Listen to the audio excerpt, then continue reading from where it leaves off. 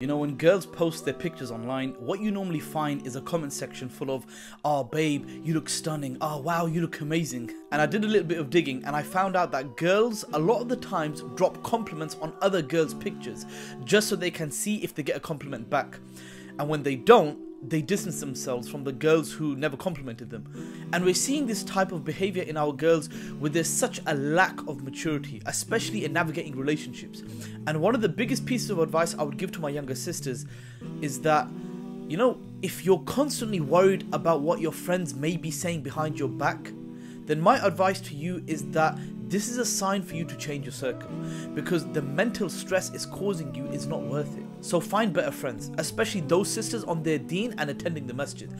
And one pro tip look for the simple girls. They're normally the nicest and the most friendliest and the ones that aren't competing with you.